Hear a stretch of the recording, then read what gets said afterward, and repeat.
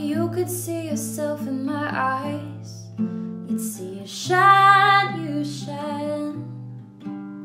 I know you'd never leave me behind. I am lost this time. Are we destined to burn or will we last the night? I will hold you till I hold you right. If only you could see yourself in my eyes.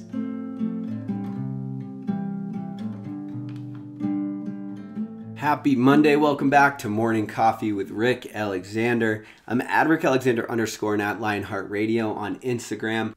If you guys are getting good information or this show is changing the quality of your life, it would mean the world to me if you would just share it with your friends, your network, even if you feel like you don't have a big following. I think we we don't always see the ripple effect that our vibes have in the world, right? And I mean, if you think about it, 500 followers is actually kind of nuts because if you could go back 20 years, and I said, hey, here's an idea, here's something you like, share it with 500 people. For most people, it would take a really long time to share that experience and that knowledge with 500 people.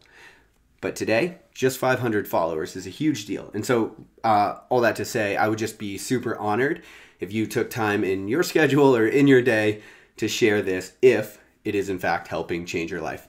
And if it's not, you're just listening to it for entertainment, to hear me ramble on. Uh, I don't get it, but I appreciate you either way.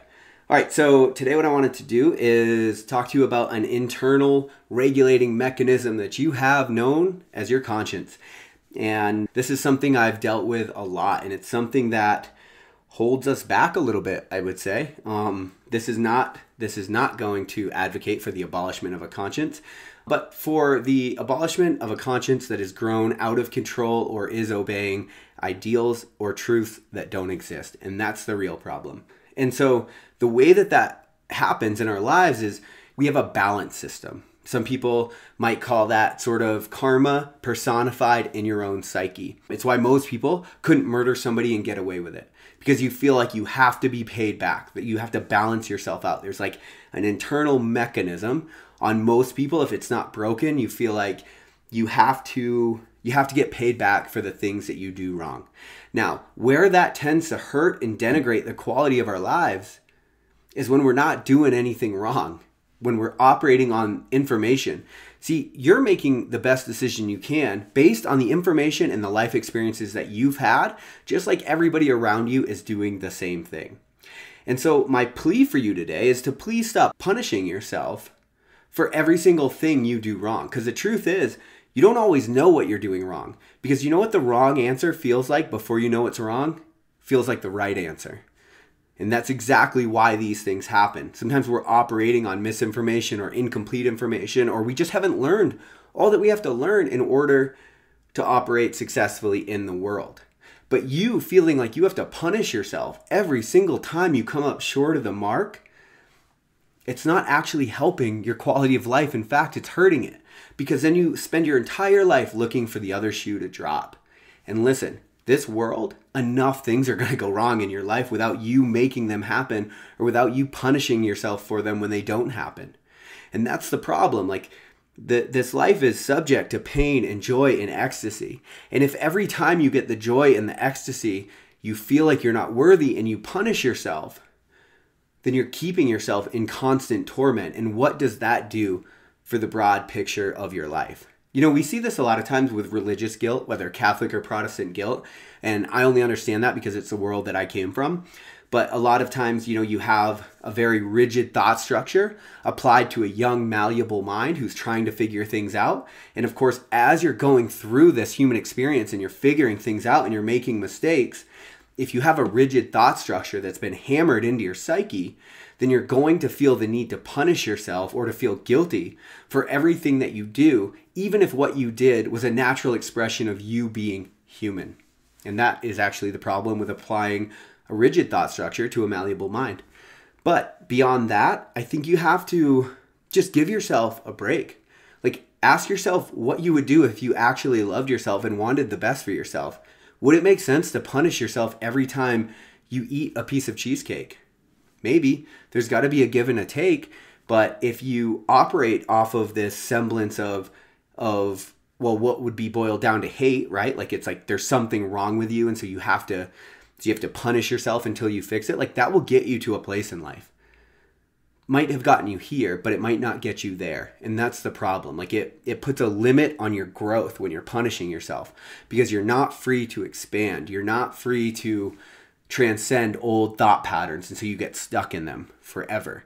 And you have to, at some point, realize that the only way you're ever going to be free of rigid thought structure and old patterns that are keeping you miserable is by believing that you're actually worthy of transcending those thought patterns. Sometimes I think what we do is we think about our lives and we have this ideal for how we should show up and what we should do and who we should be and we hold ourselves to such a high standard, which is incredible. I get it. Especially if you listen to the show, you're probably a high performer in some area in life. But the challenge is figuring out when that is no longer serving you, when it's keeping you stuck. You're not allowing yourself to expand. Because here's the deal at the end of the day, you're only human. That's it. You don't have, you're not a machine. You don't just program yourself based on what should be and then go out and articulate it. And if you could, this life would be miserable and you'd be a machine and you wouldn't have sentience, you wouldn't have awareness, you wouldn't know the joy and the ecstasy or the pain and the suffering.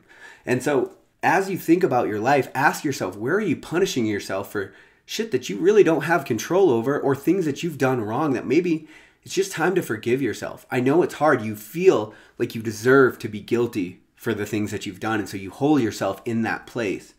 The problem is, when you hold yourself in that place, you're going to continue to repeat that exact same pattern. And so you're never going to be free of it. And the people around you are going to keep experiencing the narrative that you're living out. And so if you've hurt people in the past based on your own narrative, and then you feel guilty and you punish yourself based on your own narrative, then you're going to continue to relive and hurt people in the way that you wish you weren't. And so at some point, the only way to stop being the hurt person that hurts other people is to love yourself, is to forgive yourself. It is to allow yourself to simply be. You're worthy of the joy and the ecstasy that this life gives you.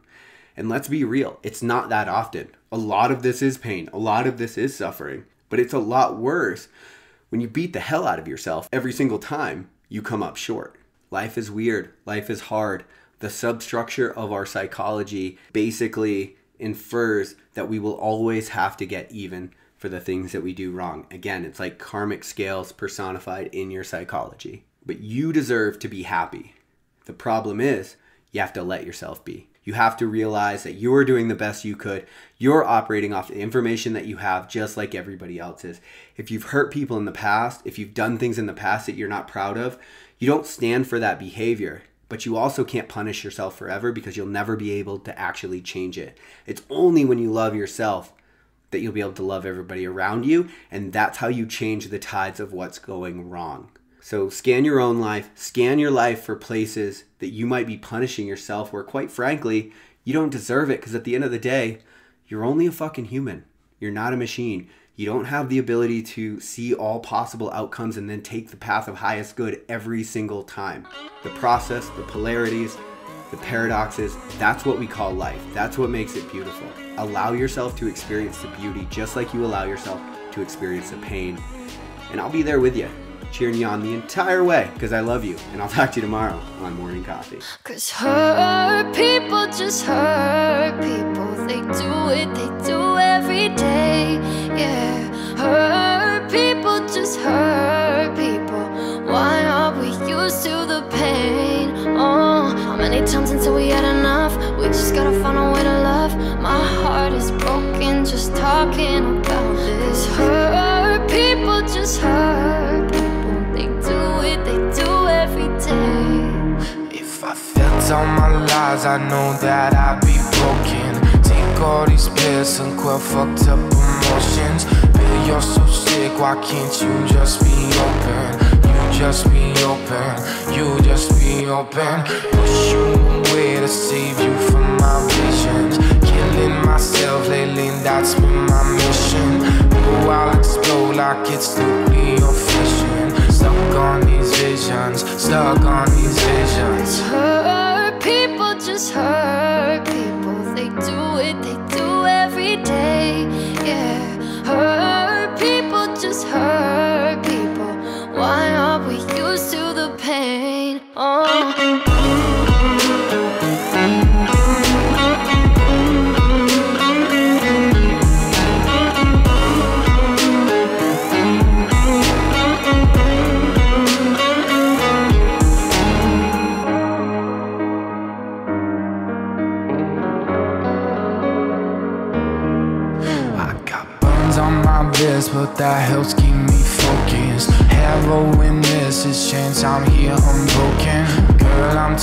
Fucked up, you can't fix these problems. You'll never solve them, you'll never solve them. I think about you and it drives me crazy. Wish I could fix my mind, but it's too hazy. 20 years old is too young, you won't save me. Can't help me, baby, can't help me, baby. Hurt people just hurt people. They do it,